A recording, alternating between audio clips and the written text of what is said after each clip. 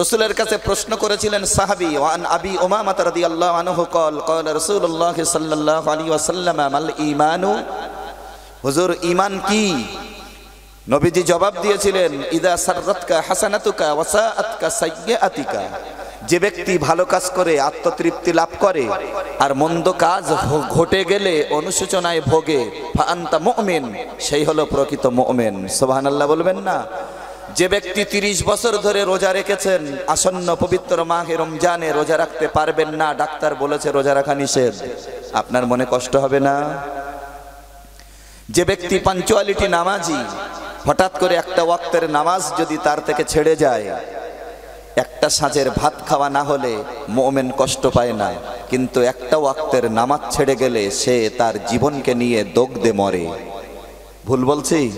যারা পাক্কা নামাজি তারা জানেন, কোনো একটা দিন যদি জামাত ছেড়ে যায়, যারা প্রতিনিয়ত জামাতে নামাজ আদায় করতে বাধ্য, এরকম একটা জামাত যদি কোনো দিন ছেড়ে যায় একটা ওয়াক্তের, তার মনের মধ্যে একটা কষ্ট আসে।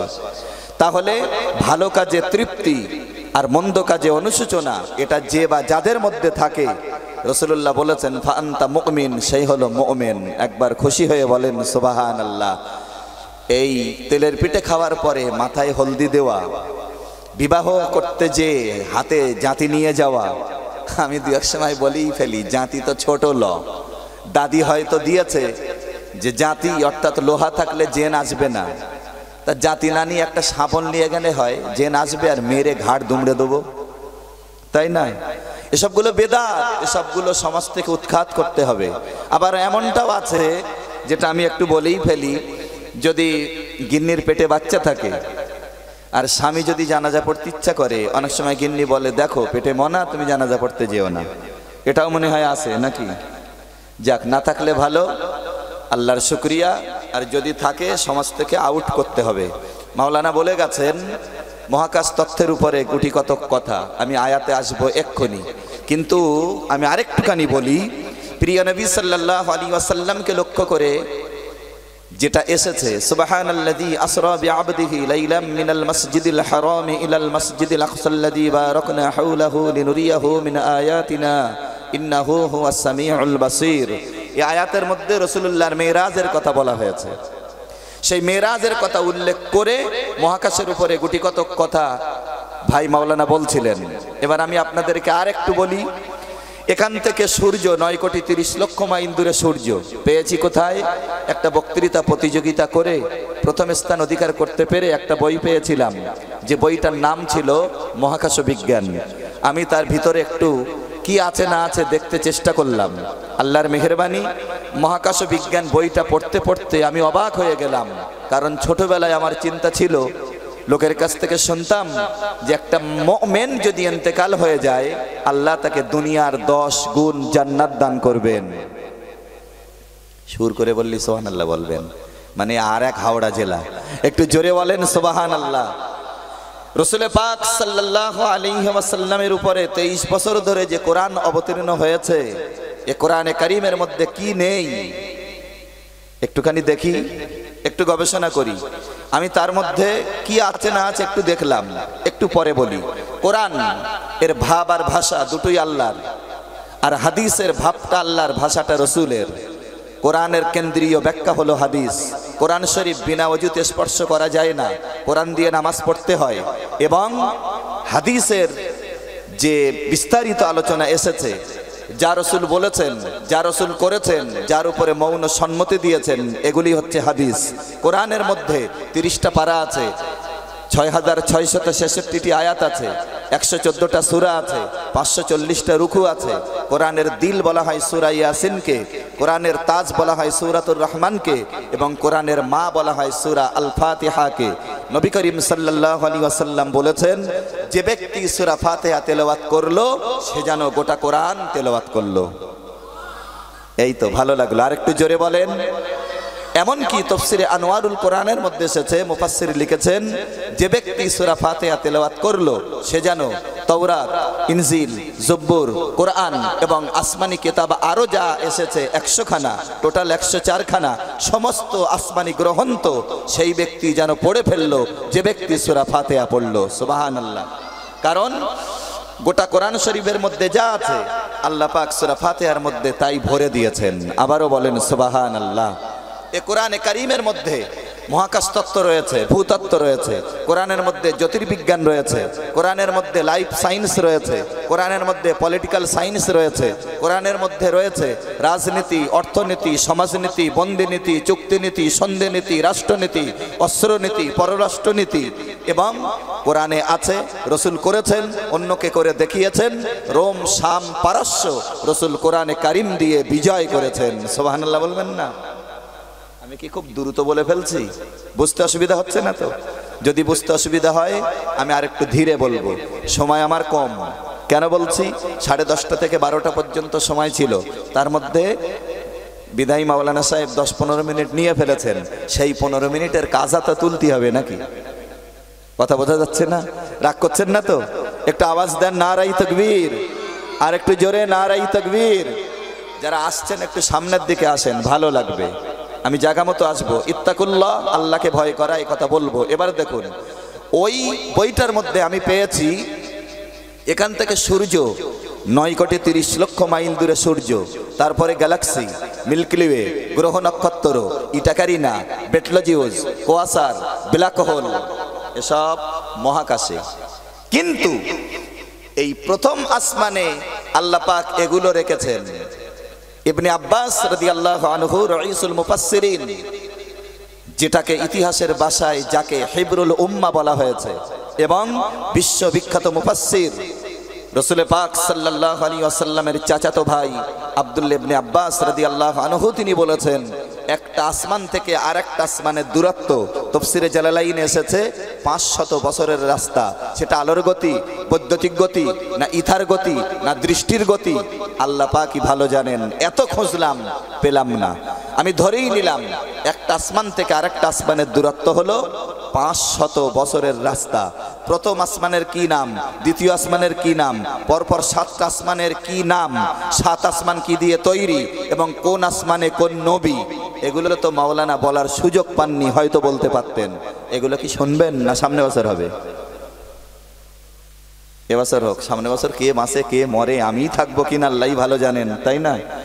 সামঞ্জস্যতা বজায় রাখার জন্যই একটুখানি বলছি, ঠিক জায়গা মতো যাব আর ইত্তাকুল্লাহ, আল্লাহকে ভয় করো, এ জায়গায় চলে আসব। তফসিরে আনোয়ারুল কোরআনের মধ্যে এসেছে, কোন আসমানের কোন নাম। তফসিরে এবনু কাসিরের মধ্যে এসেছে, কোন আসমানে কোন নবী। আর তফসিরে জালালাইনে এসেছে, কোন আসমানকে আল্লাহ কি দিয়ে তৈরি করেছেন। বোঝা গেল? বলতাম না, মাওলানা জড়িয়ে দিয়ে গেছেন, যার কারণে আমি একটু কথাটা বলছি। ছোটবেলায় শুনতাম যে একটা মোমেন মারা গেলে তার দশ, দুনিয়ার দশ গুণ জান্নাত দান করা হবে। আমি মনে মনে চিন্তা করলাম, একটা মানুষকে যদি আল্লাহ দুনিয়ার দশ গুণ জান্নাত দেন, না জানি আল্লাহর কাছে এত জায়গা কোথায় রয়ে এই চিন্তা সেটা স্বাভাবিক না মাওলানা, একটা মোমেনকে যদি আল্লাহ দুনিয়ার দশ গুণ জান্নাত দান করেন তাহলে কত মোমেন পৃথিবীতে লাখো লাখো crore crore million, billion, trillion এত মোমেন আল্লাহ পাক এত জায়গা কোথায় দান করবেন? আমার হাতে যখন বইটা আসলো, পড়ার পরে আমি তখন তওবা করছি। কিছু করার নেই তো। ছাত্র জীবনে পড়েছি, পরে একটু স্টাডি করতে যখন শিখাছি, বাধ্য আমি তখন মনে করছি, আল্লাহ এই জন্যে জ্ঞান মানুষকে কীভাবে আল্লাহমুখী বানিয়ে ফেলে? কীরকম? মহাকাশে একটা তারা আছে যে তারাটার নাম হলো বেটলজিউজ বেটলজিউজ বিজ্ঞানীরা বলেছেন বেটলজিউজ তারার পরিধি হলো ওই রকম পৃথিবীর চেয়ে তেরো লক্ষ গুণ বড় সূর্য। কত বলেছি? তেরো লক্ষ গুণ বড় সূর্য। এই রকম সূর্য আড়াই থেকে তিন কোটি সূর্য খেয়ে হজম করবে বেটলজিউস তারা। বলেন আল্লাহ আকবার। আরও জোরে বলেন। এবার দেখুন, বিজ্ঞানীরা বলেছেন পৃথিবীর সবচেয়ে কাছে যে গ্যালাক্সিটা আছে, এই গ্যালাক্সিতে বাস করে দশ হাজার কোটি তারকা। ওই বইটা আমি পড়েছি। দশ হাজার কোটি তারকার মধ্যে একটা মাঝারি ধরনের তারা হলো সূর্য। যে সূর্য পৃথিবীর চেয়ে তেরো লক্ষ গুণ বড় তা যে গ্যালাক্সিতে দশ হাজার কোটি তারকা, দশ হাজার কোটি, দশ হাজার না, দশ হাজার কোটি তারা বাস করে যে গ্যালাক্সিতে তার মধ্য থেকে একটা মাঝারি ধরনের তারা হলো সূর্য, আর সেই সূর্যের পরিধি হলো পৃথিবীর চেয়ে তেরো লক্ষ গুণ বড়। আবার এই রকম সূর্যকে হজম করবে আড়াই থেকে তিন কোটি তাহলে দশ হাজার কোটি তারকা। সবচেয়ে এই কথাটাই চিন্তা করি, একটা গ্যালাক্সিতে যদি এই রকম থাকে ধারণ ক্ষমতা, দুনিয়ার দশ গুণ জান্নাত আল্লাহ মোমেনকে কোথায় দেবেন? আমাদের কি আর চিন্তা করা লাগবে? একটা তারা দিয়েই বোঝানো হয়ে গেল। আরেকটু এক ধাপে গিয়ে যাই। যে তারা পৃথিবীর চেয়ে তেরো লক্ষ গুণ বড় সূর্য, এই রকম সূর্য আড়াই থেকে তিন কোটি সূর্যকে হজম করবে। আবার ওই তারাটা যদি ব্ল্যাক হোলের আওতায় চলে যায়, ব্ল্যাক হোল এরম বাচ্চাদের যেমন লজেস, আমরা লজেস যেমন খাই, লজেসের মতো ব্ল্যাক হোল ওই তারাকে টেনে নেবে। যে তারা পৃথিবীর চেয়ে, যে তারার ধারণ ক্ষমতা আড়াই থেকে তিন কোটি সূর্য খাওয়ার ওই রকম তারা ব্ল্যাক রেঞ্জে গেলে লজেসের মতো ব্ল্যাক খেয়ে ফেলবে। ওই তারাকে ওই রকম কোটি কোটি তারাকে ব্ল্যাক হোল যেন মনেই করবে না যে আমি একটা কিছু খেয়েছি। আল্লাহ আকবার বলেন। সব কিছু অতিক্রম করে রসুল্লাহ চলে গেছেন কোথায়? আল্লাহ পাকের কাছে। সেই কথা হচ্ছিল না। আমার ভাইরা, বাবাজিরা, প্রিয় নবী জনাব রসুল্লাহ আলাইহি ওয়াসাল্লামের মেয়েরাজ সম্পর্কে আলোচনা করতে করতে এই জায়গাটায় এসে গেলাম। এবং রসুলের মেয়েরাজ নিয়ে যারা অনেক অনেক গবেষণা করেছেন, তাদের চিন্তা চেতনার ভিতরে এইটাই উকি দিয়েছে, আল্লাহ পাকের রসুলের মেয়েরাজ সত্য হয়েছে। আরেকটু জোরে বলেন। মেরাজের ব্যাপারে আমাদের কোনো কিন্তু কথা নেই, তাই না? কিন্তু মুফাসির একটা কথা বলেছেন যে আল্লাহ পাকের সঙ্গে রসুল্লাহ সরাসরি দেখা করেছেন না পর্দার আড়ালে দেখা করেছেন? আমার কাছে জানতে চাইলেও আমি বলতে পারব না। আটটা নটা তফসির তালাশ করলাম, কোনো জায়গায় পেলাম না। মুফাসিররা উজ্জ্ব রেখেছেন। কোন কোন মুফাসির বলেছেন সরাসরি দেখা করেছেন, কোন কোন মুফাসিররা বলেছেন পর্দার আড়ালে দেখা করেছেন। কি হয়েছে না হয়েছে আল্লাহ পাকই ভালো জানেন। সরাসরি দেখা অথবা পর্দার আড়ালে দেখা। এটা আমাদের মূল জানার বিষয় নয়। রসুলুল্লাহর মেয়েরাজ হয়েছে, এটাই হলো মূল জানার বিষয় এবং বিশ্বাস করার বিষয়। বলুন সোবাহান আল্লাহ আমার ভাইরা, আমার বাবাজিরা, প্রিয় নবী জনাব রাসূলুল্লাহ মহাশূন্য পাড়ি দিলেন। আল্লাহ রাব্বুল আলামিন বলেছেন, ওমা খলাকনাস সামাওয়াতি ওয়াল আরদা ওয়ামা বাইনাহুমা লাঈবিন। আসমানে যা কিছু আছে এবং জমিনে যা কিছু আছে এবং এর মাঝখানে যা কিছু রয়েছে, বেকার বেকার কোনো কিছু সৃষ্টি করিনি। প্রতিটার পিছনে কোনো না কোনো উদ্দেশ্য নিয়েই সৃষ্টি করেছি। সোহান আল্লাহ বলেন। আর একটু জোরে বলেন। এখন এই বর্ণনা পড়ে একজন গ্রাম্য কবিরাজ একটা চিন্তা করেছিল। গ্রাম্য কবিরাজ টয়লেটে প্রবেশ করেছে। টয়লেটে প্রবেশ করেছে এমন একটা টয়লেটে যে টয়লেটে এক মাসের মতো মানুষ যায় না। টয়লেটের সাই পেনে অথবা পেনে, যে নোংরাটা আছে, ওই নোংরার উপরে এক শ্রেণির পোকা জন্ম নিয়েছে, পোকাগুলো বেড়াচ্ছে। টয়লেটের মধ্যে কবিরাজ প্রবেশ করে চিন্তা করেছে যে আল্লাহ বলেছেন, বেকার বেকার কিছুই সৃষ্টি করিনি। আমি একজন কবিরাজ, এটাই ভাবছি, পায়খানার উপরে এই নোংরা জায়গায় যে পোকাগুলো, এরা চড়া করছে এই পোকাগুলো কি জন্য সৃষ্টি হয়েছে? আল্লাহ এইগুলোই বেকার সৃষ্টি করেছেন, নাউজুবিল্লাহ। যেই অন্ধ এই কথা চিন্তা করেছে, একটা রেওয়ায়তে এসেছে, একটা বইতে আমি পড়েছি, সেটাই বলছি। এখন এই কথা চিন্তা করার রেশ শেষ হয়েছে, বাইরে নেমেছে, দুটো চোখ অন্ধ হয়ে গেছে। আরেকজন অন্য গ্রামের কবিরাজ সেই গ্রামে প্রবেশ করেছে। প্রবেশ করার পরে ঘোষণা করছে, অন্ধ আছো কে? আমার কাছে ঔষধ আছে, ব্যবহার করলে ভালো হবে। অন্ধ আছো কে? আমার কাছে ঔষধ আছে, ব্যবহার করলে ভালো হবে। আচ্ছা এই অন্ধ খুঁজবে না? সঙ্গে সঙ্গে খুঁজবে। এখন কবিরাজ দৃষ্টিশক্তি সম্পন্ন বাইরের গ্রাম থেকে বহিরাগত গ্রামে প্রবেশ করেছে। আর এ লোক অন্ধ যাবে কি করে? কোথায় দেওয়াল আছে, কোথায় খানা আছে, কোথায় রাস্তা আছে, কোথায় ঘর বাড়ি আছে, তার ঠিক নেই। কাউকে দিয়ে তাকে ডাক করিয়েছে।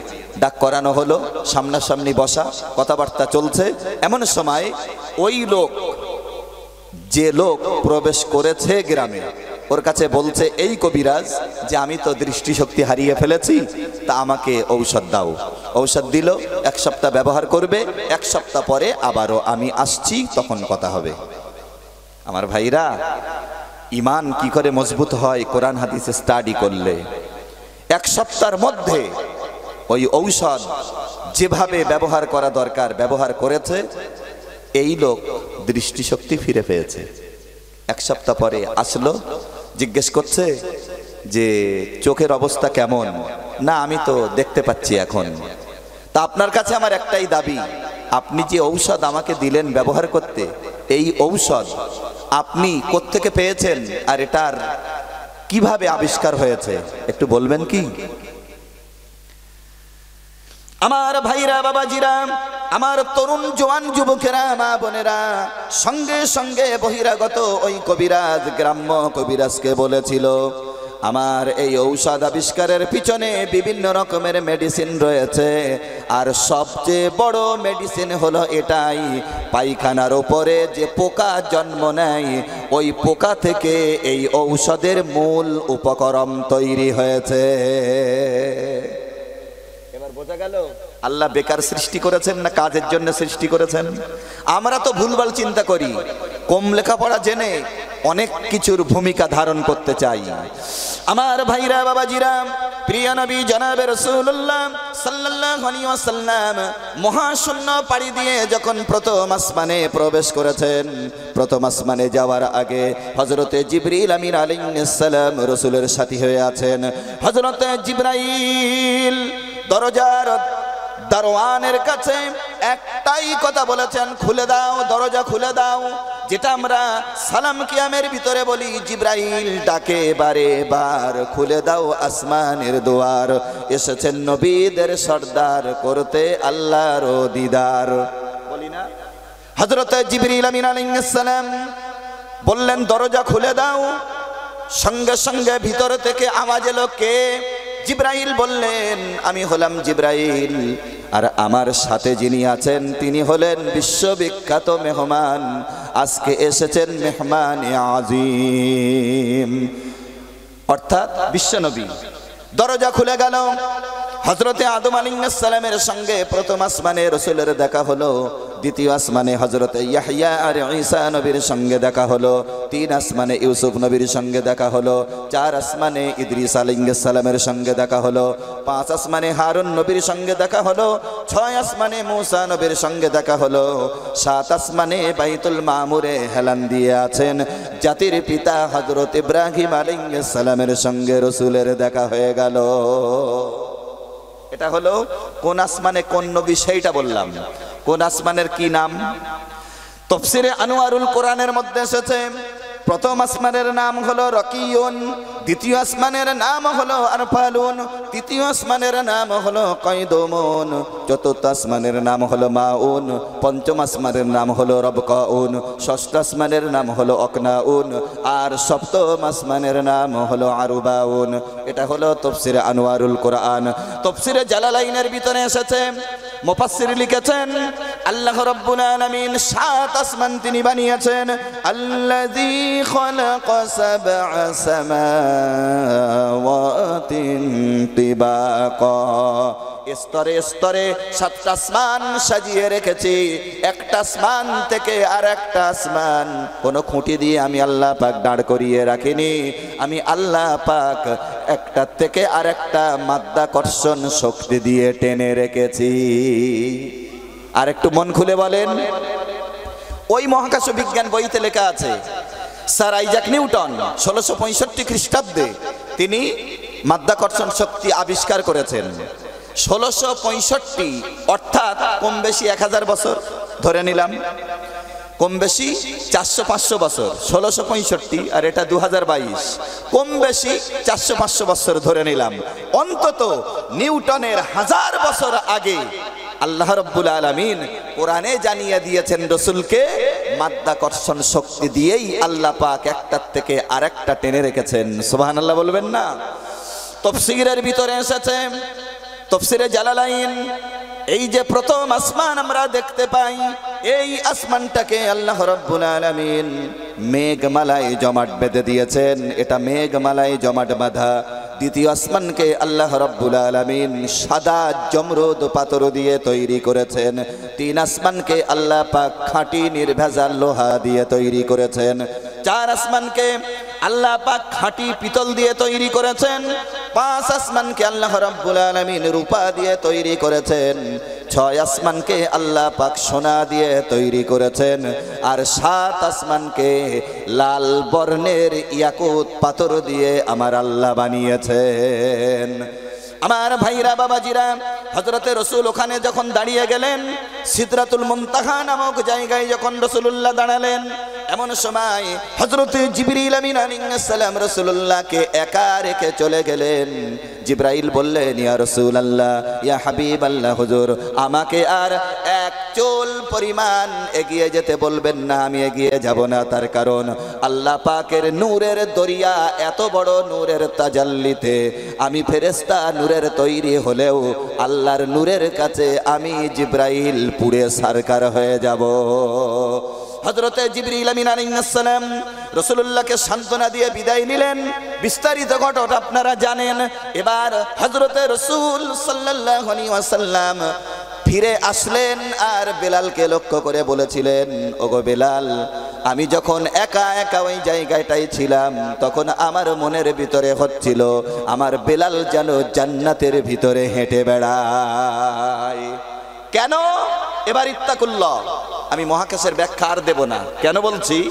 সবাই তো শিক্ষিত মানুষ বসে না। এ জলসার শ্রোতা সেজে সব শ্রেণীই থাকে। যে জায়গাটায় অস করছিলাম ওই জায়গাটাতে আমি কিচ্ছু দেখিনি, শুধু মনে করেছি একটাই। ওই আমার সামনে তাদের বসার জায়গা হলো চেয়ার। রাস্তার উপরে তো? একদম রাস্তার উপরে। প্রচুর পরিমাণে গাড়ি যাচ্ছে এবং পুলিশ প্রশাসন সেখানে দিয়েছে। কেন বলেন তো? হিন্দু মুসলিম সমন্বয়ে বাস্ত। ফট করে বক্তার যদি কথা স্লিপ হয়ে যায়, তা আল্লাহর মেহরবানি। সাম্প্রদায়িক সম্প্রীতির উপরে এমন কথা বলে এসেছি, হিন্দুরাও দেখি নেমে আমার সঙ্গে দেখা করছে। এটা আল্লাহ পাকের মেহরবানি আল্লাহ শুক্রিয়া। তা যাই হোক, তার একটা কথাও মনে হয় এখন এখানে আমি বলিনি। ভিন্ন আলোচনা। হজরতে বেলালকে লক্ষ্য করে নবী বলেছিলেন, বেলাল আমি যখন ওই জায়গাটাতে ছিলাম, তখন আমার মনে হচ্ছিল তুমি যেন জান্নাতের ভিতরে হাঁটছিলে। সোহান আল্লাহ বলবেন না? আর একটু জোরে বলেন, এই বেলাল ভয় করেছিলেন আল্লাহকে। কাকে ভয় করেছিলেন? আল্লাহকে। বেলালের উপরে এত অত্যাচার আসার পরেও হজরতে বেলাল কিন্তু আহাদুন লা ইলাহা ইল্লাল্লাহ ছাড়েননি। আর আমরা তেলের পিঠে খাওয়ার পরে হলদি না দিয়ে বাঁচি না, কারণ ভূত পাস লাগবে। করা যাবে না। খবরদার খবরদার, এই বেদাত সমাজ থেকে উৎখাত করতে হবে। এবার দেখুন, মক্কা যেদিন বিজয় হয়ে গেল আট হিজড়িতে, হুজুর জানেন ওনার এলাকায় যখন আমি ওয়াজ করি, তখন এই কথাটা কোন কোন জায়গায় প্রসঙ্গক্রমে সাবজেক্টের উপরে থাকতে যে রাখি, কীরকম? রসুল্লাহ ছশো বাইশ খ্রিস্টাব্দে হিজরত করেছেন। কত বলেছি? ছশো বাইশ। এর আগে পৃথিবীতে হিজরি সন বলে কিছুই ছিল না। হিজরত থেকেই এসেছে হিজরি। ছশো বাইশ খ্রিস্টাব্দে হিজরত করেছেন।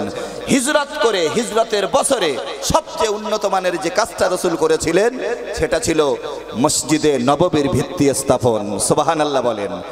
প্রথম হিজরি মসজিদে নববীর ভিত্তি স্থাপন, দ্বিতীয় হিজরি বদরের যুদ্ধ, রোজা ফরজ, ঈদুল ফেতর ওয়াজিব এবং আজানের প্রচলন। তৃতীয় হিজরি ওহদের যুদ্ধ হলো, চতুর্থ হিজরি বনুনাজির ইহুদি সম্প্রদায়ের প্রথম হাসর হলো, পঞ্চম হিজরি খন্দকের যুদ্ধ হলো, ষষ্ঠ হিজরি হোদাইবিয়ার সন্ধি হলো, সপ্তম হিজড়ি খয়বার বিজয় হলো, অষ্টম হিজড়ি মক্কা বিজয় হলো। পর কথা আর বলছি না, পারব বলতে আপনাদের দোয়ায়। এই মক্কা বিজয়ের দিনে প্রিয় নবী সাল্লাল্লাহু আলাইহি ওয়াসাল্লাম বললেন, ওগো বেলাল বেলাল, লাব্বাইক ও সাদাইক, হুজুর আমি হাজির। ওগো বেলাল, আমার পক্ষ থেকেই তুমি নির্বাচিত মসজিদে নববীর মুয়াজ্জিন। আজকে আমি বলছি, মক্কা বিজয় হয়েছে। আল্লাহ পাক আমাদের জয় দিয়েছেন। তুমি আজান দাও। কোথায়? কাবা শরীফে।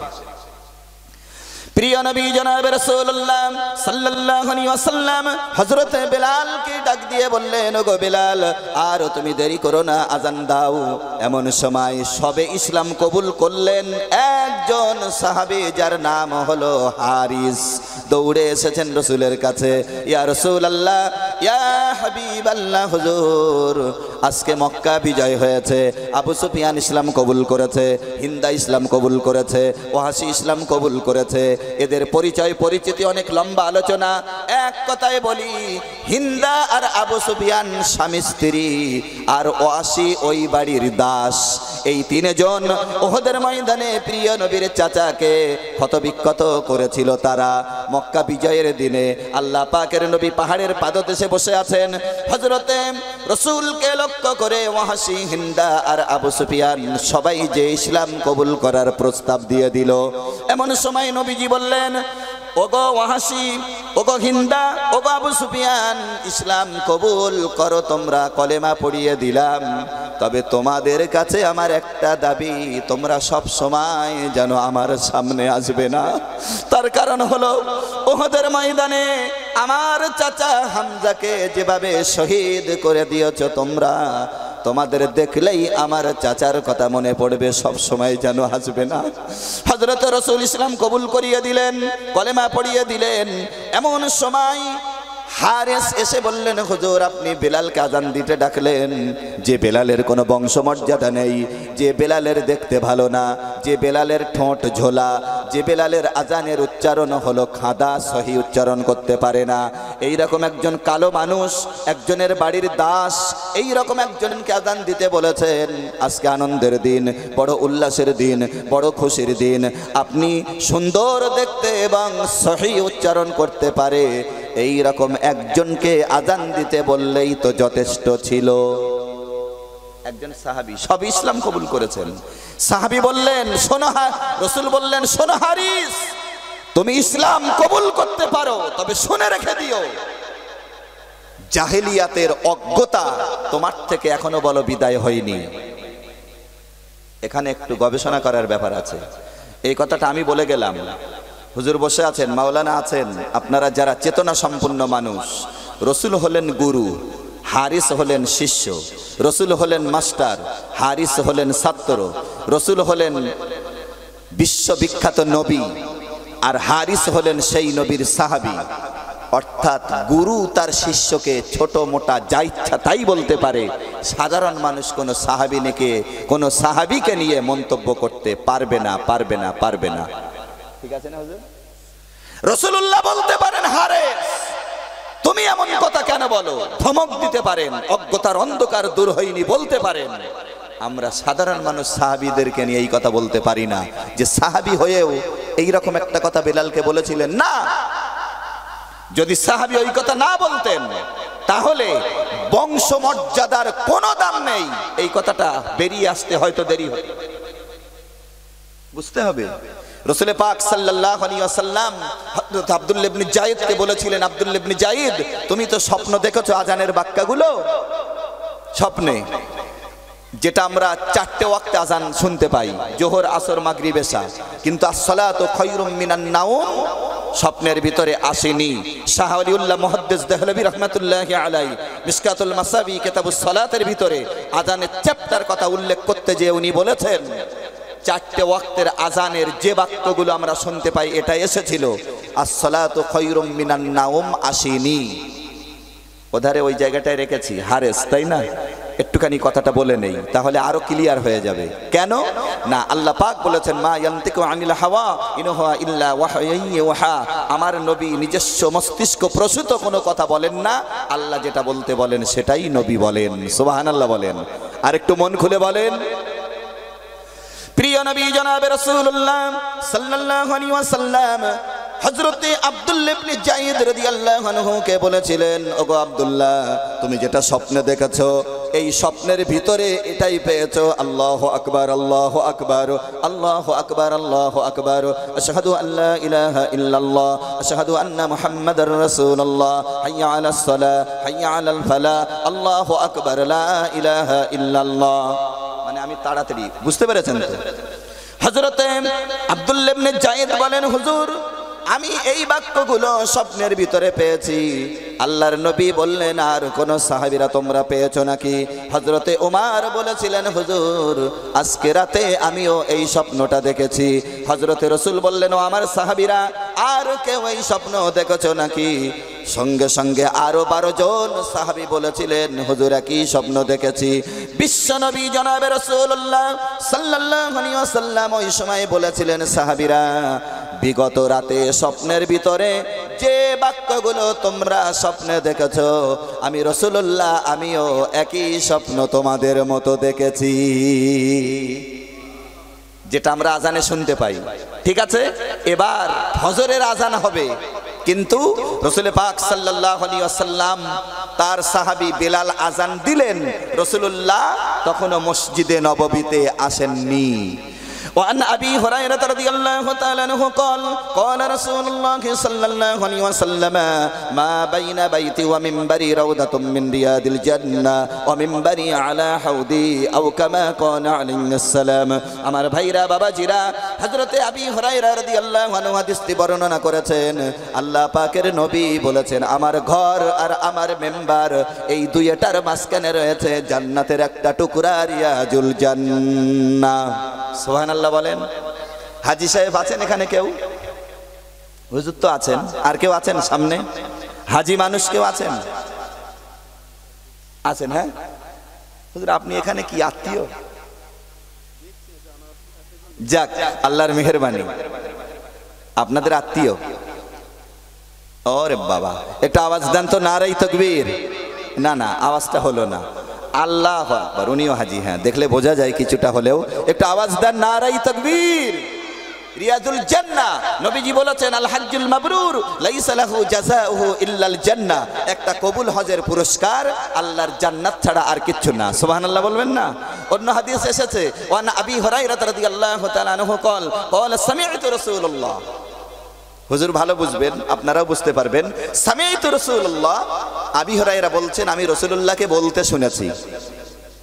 মান হাজ্জা লিল্লাহ ফালাম ইয়ারফুস ওয়ালাম ইয়াফসুক, রাজাআকা ইয়াউমিন ওয়ালাদাতুহু উম্মুহু। যে ব্যক্তি নয় জিলহাজ আরাফাতের মাঠে হাজিরা দিল, অশ্লীলতামূলক কোনো কাজ করল না, কোনো পাপের কাজ করল না, অশ্লীল কোনো কথাবার্তা বলল না। নবীজি বলেছেন, মা যেমন একটা শিশুকে নিষ্পাপ করে ছেড়ে দেয়, আরাফাতের মাঠ একটা হাজিকে নিষ্পাপ করে ছেড়ে দেয়। সুবহানাল্লাহ বলবেন না? আর একটু মন খুলে বলেন। এখন আসসালাতু খায়রুম মিনান নাউম এটা তো স্বপ্নের ভিতরে আব্দুল্লিবনে জায়েদ সহ কোন সাহাবি দেখেননি। কথা বোঝা যাচ্ছে? অসুবিধা হচ্ছে না তো? হজরতে বেলাল রাদিয়াল্লাহু আনহু মসজিদে নববীতে আজান দিলেন। এমন সময় দেখা গেল, ফজরের নামাজের সময় হয়ে গেল, জামাতের সময় হয়ে গেছে। অথচ হজরতে রসুলে পাক আলাইহি তখন মসজিদ নববীতে আসেননি। হজরতে বেলাল মনে করলেন, আল্লাহর নবী সারাটা দিন ধরে কাজ করেছেন, দিনের দাওয়াত দিয়েছেন, মাফাতিহুল জান্নাতি শাহাদাতু আল্লাহ ইলাহা ইল্লাল্লাহ। জান্নাতের চাবি হলো এই সাক্ষ্য দেওয়া।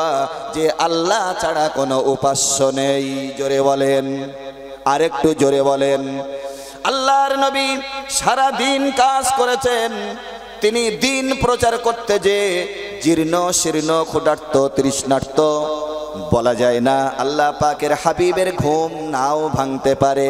হজরতে বেলাল আজান দেওয়ার পরে নবীজি যখন জামাতে আসতে দেরি করেছেন, আসেননি। হজরতে বেলালের মনের ভিতরে অস্থিরতা শুরু হয়ে গেছে।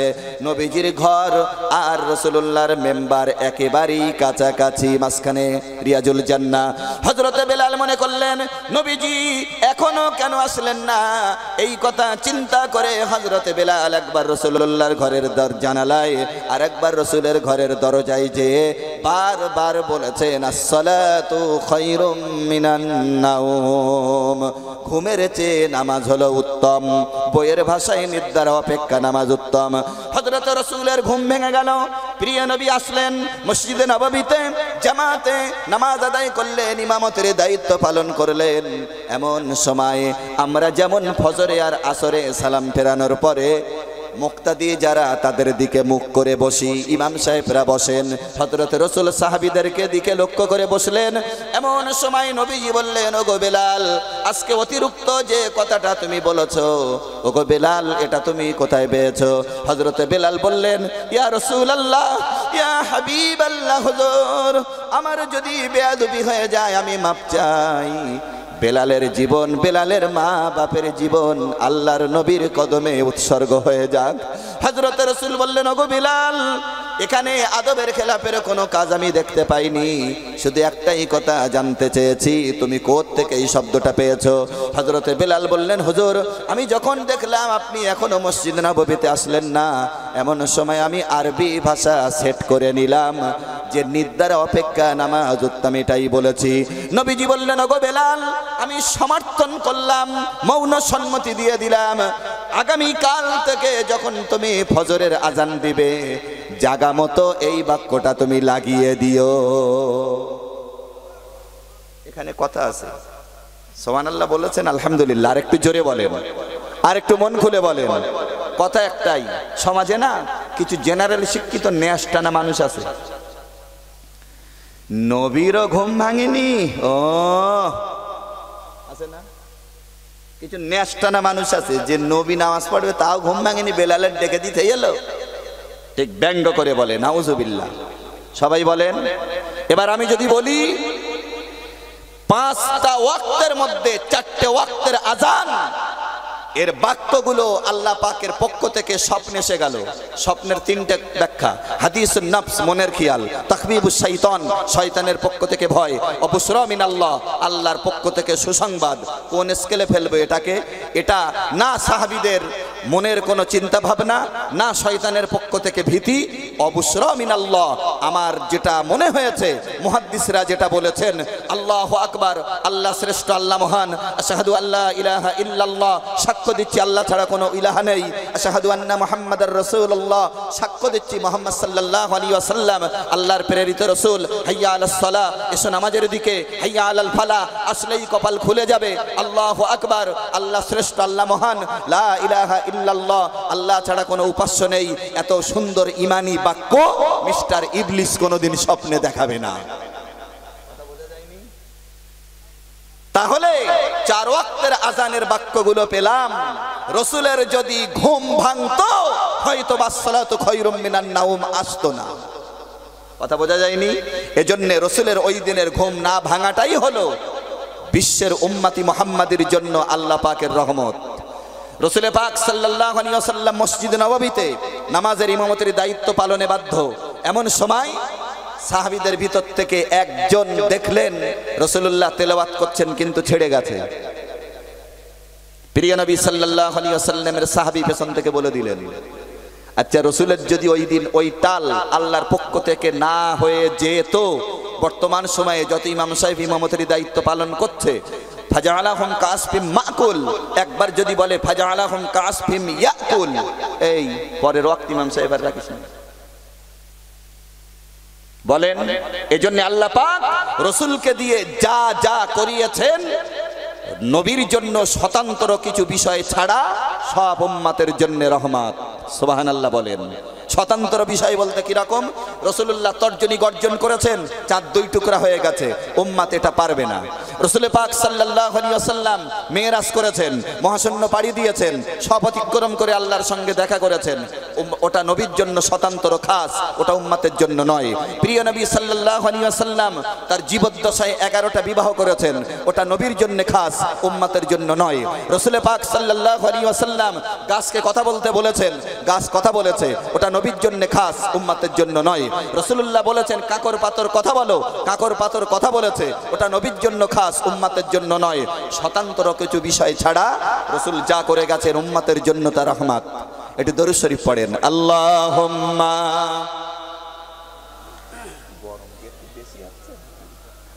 আপনি, আমি অস্কচ্ছি আর ঘেমে যাচ্ছেন আপনি বুঝলি গরম হচ্ছে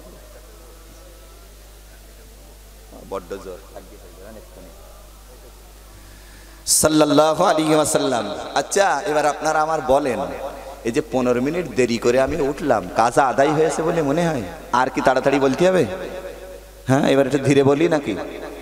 তাও কিছু বলছেন না, বিরাট চালাক আপনারা। যে না তাড়াতাড়ি বলো, একটু বেশি কথা শুনি, তাই না? নারাই তকবীর। ওদিকে কি? রসুল্লাহ কি বলেছিলেন? হারেস, তুমি ইসলাম কবুল করেছ ঠিকই, কিন্তু অজ্ঞতার অন্ধকার তোমার থেকে দূর হয়নি। মনে আছে না ভুলে গেছেন? ভালোই যত্ন করছেন যে আল্লাহ শুক্রিয়া। মানে বুঝে ফেলছেন যে সত্যিই, সত্যি সত্যি গরমও পড়ছে।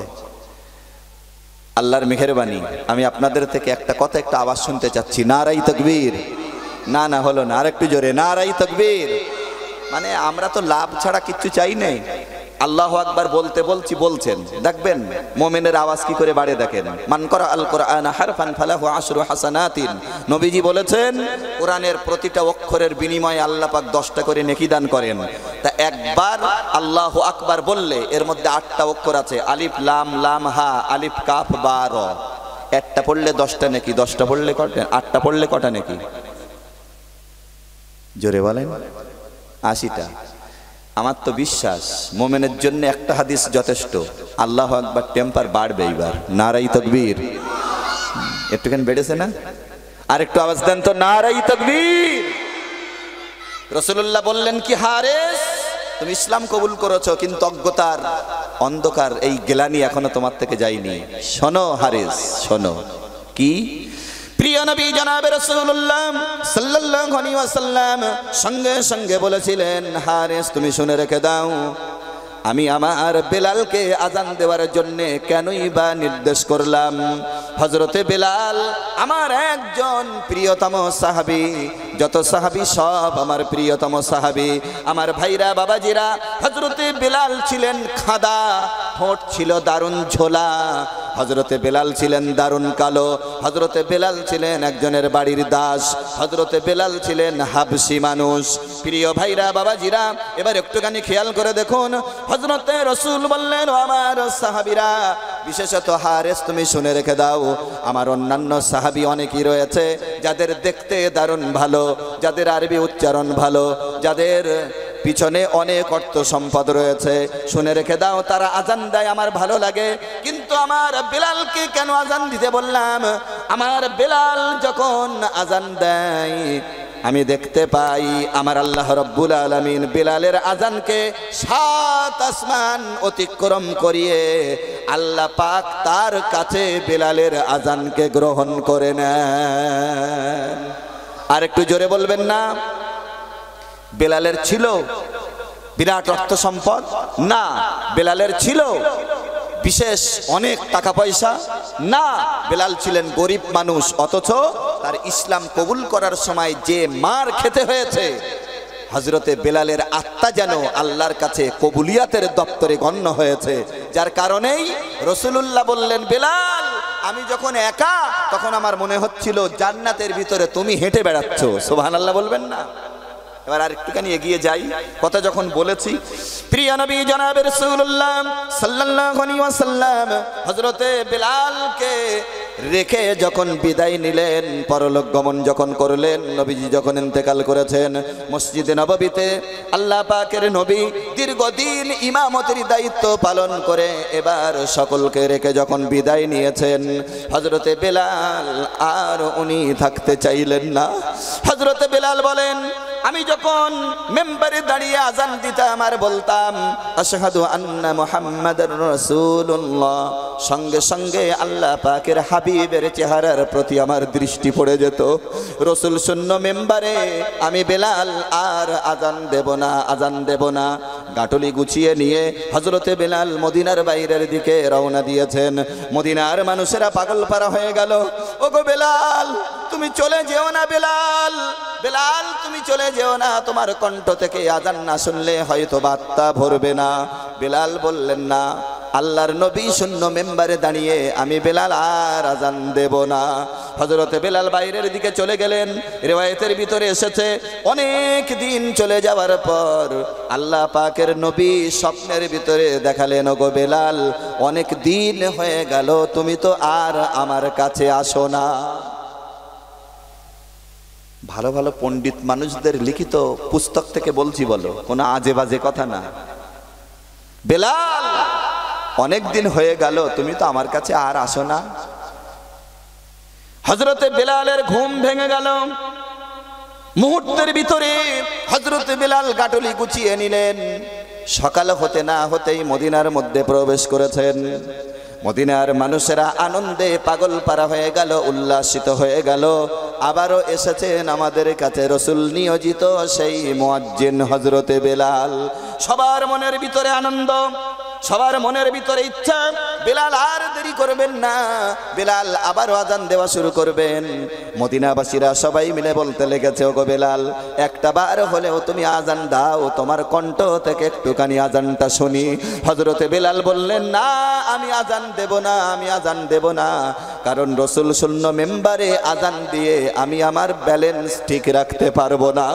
মদিনার মানুষেরা সবাই মিলে বলল হজরতে বেলাল, সবাই মানে এলাকার যারা ছিল, বহু মানুষ বলেছিল, বেলাল আজান দাও। হজরতে বেলাল আজান দিলেন না। এবার মদিনার মানুষেরা, প্রিয় নবী জনাবের রসুল্লাহ সাল্লাহ সাল্লামের দুই নাতি হজরতে ফাতেমাত জোহরা রাদিয়াল্লাহু তাআলা আনহা, তার কলিজার টুকরা দুই সন্তান, ইমাম হাসান আর হুসাইনের কাছে মদিনার মানুষেরা দাবি রাখল, ও রসুলুল্লাহর নাতি তোমরা দুইজন, একটাবার হলেও বেলালকে বলো, তাহলে বেলাল তোমাদের কথা ফেলতে পারবেন না, আজান দিবেন। ইমাম হাসান, ইমাম হোসাইন দুইজনের রসুলুল্লাহর সাহাবি হজরতে বেলালকে লক্ষ্য করে বললেন, মদিনার মানুষেরা আপনার কণ্ঠ থেকে আজান শোনার জন্য পাগল পারা হয়ে যায়। একটা বারের জন্যে হলেও একটা বার আপনি আজান দেন। ইমাম হাসান আর ইমাম হুসাইন এই দুইজনের দাবি আর প্রত্যাখ্যান করতে পারলেন না হজরতে বেলাল। আজান দেওয়ার জন্য মেম্বারে দাঁড়িয়েছেন। আল্লাহ আকবার আল্লাহ আকবার। আশহাদু আল্লাহ ইলাহা ইল্লাল্লাহ। আশহাদু আন্না মুহাম্মাদার রাসূলুল্লাহ। হজরত বেলাল যখনই বলেছেন, মেম্বার থেকে ঘাঁটি ভেঙে পড়ে গেছেন। রসুলের মায়া, রসুলের মহাব্বত, কারে বলে? এজন্যই বলেছিলাম, ইত্তাকুল্লাহ। আল্লাহকে ভয় করো, আল্লাহর জান্নাত দখল করো। ও পর্যন্ত রাখলাম, কথা অনেক, ফিরে আসি। নবী পাক আলাইহি হাদিসের মধ্যে বলেছেন, অজ্ঞতার যুগ।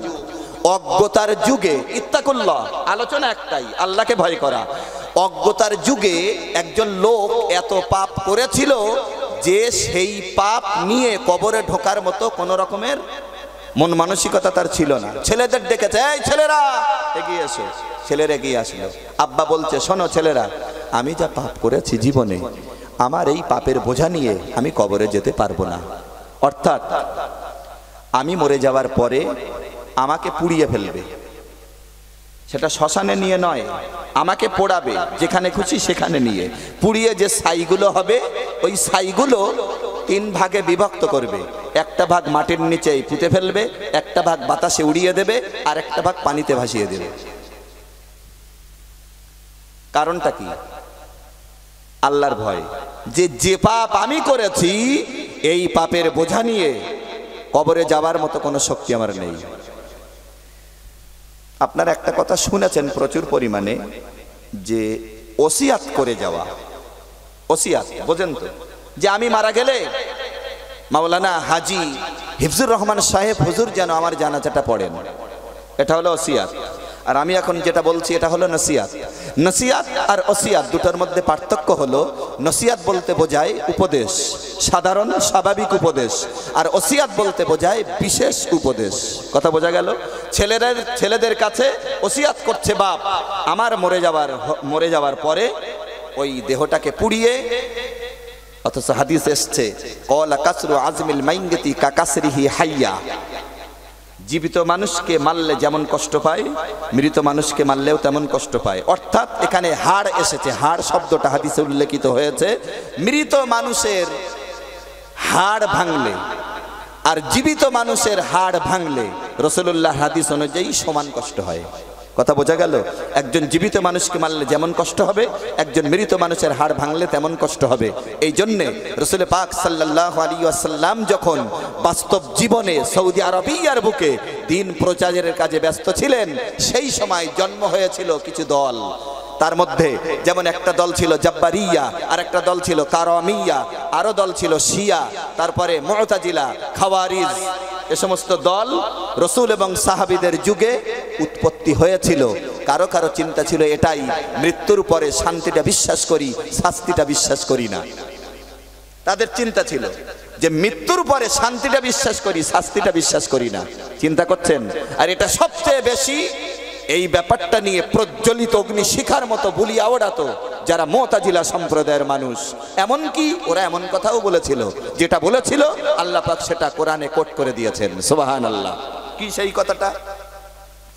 মহান আল্লাহ রাব্বুল আলামিন বলেছেন وقالوا أإذا كنا عظاما ورفاتا أإنا لمبعوثون خلقا جديدا তাদের কথা ছিল আমরা মরে যাব আমরা পচে যাব আমরা গলে যাব আমাদের হাড় গোস্ত সব কিছু মাটি খেয়ে ফেলবে নতুন করে আবার জীবিত করা হবে এই চিন্তা তাদের মস্তিষ্কে জায়গা পেত না আল্লাহ রব্বুল আলমিন গোটা বিশ্ব মানবতাকে বোঝানোর জন্য অনেক জবাব কোরআনে কারিমের ভিতরে দিয়েছেন। তার মধ্যে একটা জবাব যেটা মানুষের কাছে সচরাচর হয়ে আছে। যে জবাবটা হলো এই রকম। আমরা দেখতে পাই মানুষ দাপন হয়ে যায়। দাপন হয়ে যাবার পরে কবরের উপরে চেলিগুলো সাজিয়ে দেওয়া হয়, নারিকেলের পাতা অথবা একটা বিছানা দেওয়া হয়।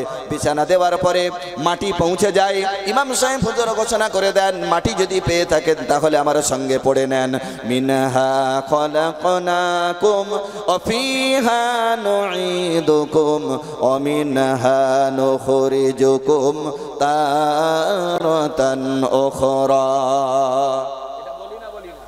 এই নিয়ে আবার কত মত হচ্ছে বাংলাদেশের আলেমরা। ও সেসব এখন বলতে গেলে সাধারণ মানুষের কাছে আমি আরও সব বলে বেকার সময় নষ্ট করি না। আল্লাহ পাক বলছেন, মিনহা খলাক নাকুম হুজুর বসে আছেন, একজন গ্রামার জ্ঞান রাখা মানুষ। মিনহা খলাক নাকুম এখানে খড়জবর আছে। সুরা তোহা, ষোলো পারা। মিনহা খলাক নাকুম ইমাম সাহেব হাবেজ সাহেব অথবা মাওলানা সাহেব, ভালো করে স্টাডি করে উনি বলছেন, বলুন, মিনাহা খলাক নাকুম মুসল্লিরা বলছে, মিনাহা খলাক নাকুম বুঝতে পারেননি বোধহয়? মিনহা খলাক নাকুম এই না টান দিতে হবে। দিতে হয় বলছি না, দিতে হবে।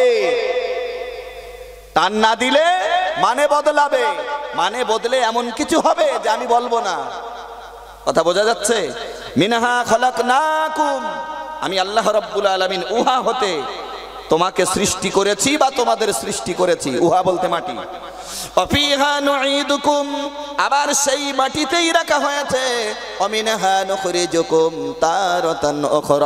আবার এই মাটি থেকেই পুনর্জীবন দান করা হবে। আল্লাহ রাব্বুল আলামিন অনেক জবাব এইভাবে দিয়ে দিয়েছেন। ওই লোকটা এবার বলেছিল, ছেলেরা, আমার ইন্তেকালের পরে, আমার মৌতের পরে, আমার মৃত্যুবরণ করার পরে তোমরা যেন কবরে দাপন করবে না। কারণ দাপন করে চল্লিশ কদম আসতে যে সময় লাগবে, এর মধ্যেই দুইজন ফেরেস্তা হাজির হয়ে যাবে। তাই না? অনেকে এটা কি বলে জানেন? আমি গবেষণা করে একটু কথা বলি, তারপরে অনেক মিস্টেক হয়ে যায়। অনেকে বলে, যারা দাপন করেছে, ওরা চল্লিশ পা চলে আসলে, তারপরেই ফেরেস্তা আসবে। চল্লিশ পা চলে আসলে ফেরেস্তা আর চল্লিশ পা আসতে যে সময় লাগে, এর মধ্যে ফেরেস্তা দুটোর অর্থ আলাদা বলো। আপনি যদি মনে করেন চল্লিশ কদম চলে গেলে কবরের ধার থেকে তারপরে ফেরেস্তা আসবে, তাহলে আমি ধরেই নিলাম, আমার আব্বা জনাব মোহতারাম আলহাজ মাওলানা হিফজুর রহমান সাহেব, আমি আমার আব্বাকে বলে দিলাম, আব্বা, দুনিয়ায় যত রকমের অবৈধ টাকা আছে, সব তুমি এক জায়গায় করো। তোমার যা জমি, জায়গা, অর্থ সম্বাদ বাগান, পুকুর, গাড়ি, বাড়ি যা আছে, সব বেচে কিনে সব টাকা কোনো সুদে দাও। আর আমার কয়েক ট্রিলিয়ন টাকার মালিক বানিয়ে দিয়ে যাও।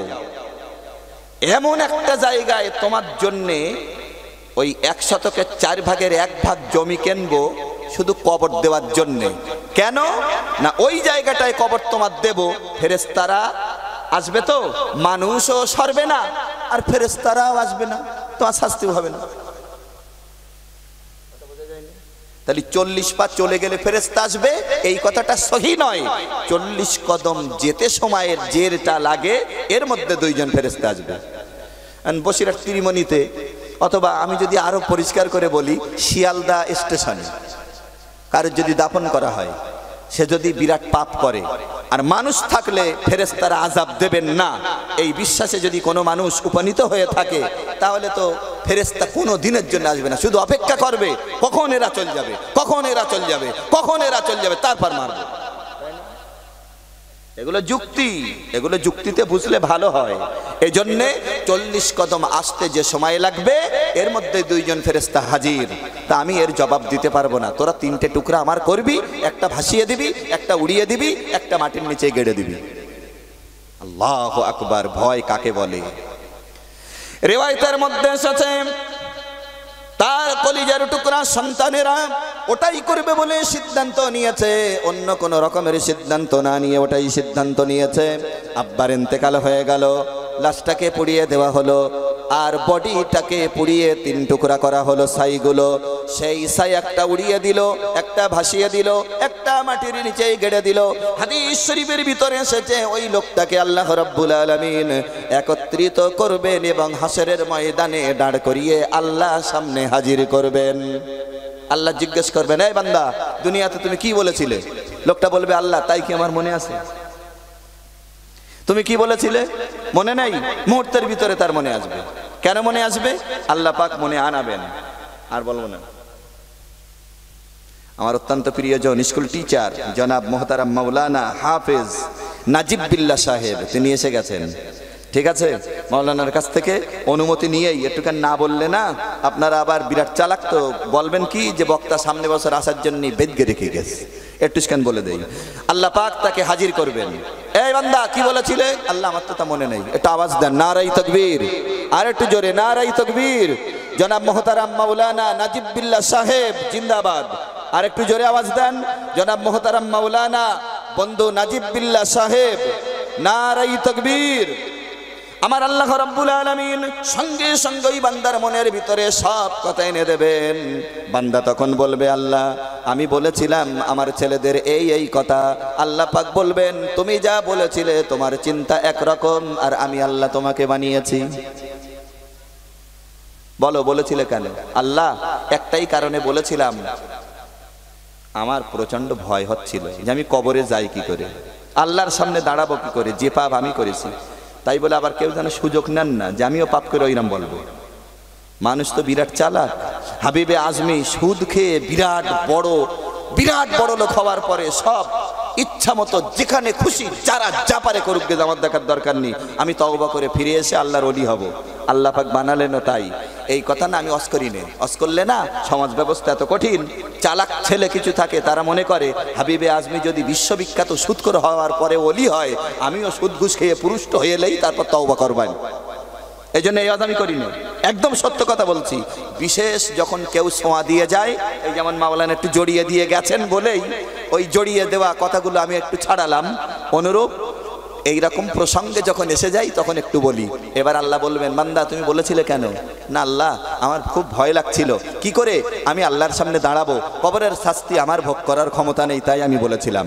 আল্লাহ রব্বুল আলমিন ওই বান্দাটাকে লক্ষ্য করে বলবেন বান্দারে এত ভয় যখন তোর অন্তঃকরণে, আমার ভয়, আমার আজাবের ভয়, আমার শাস্তির ভয় যখন জায়গা পেয়েছিল, আজ হাসরের ময়দানে তোর এই ভয় করার কারণে আমি আল্লাহ তোর সারা জীবনের গোনা মাফ করে দিলাম। বান্দারে, আমাকে ভয় করার কারণে আমার আল্লাহ, আমি আল্লাহ রব্বুল আলমিন তোকে বলে দিলাম।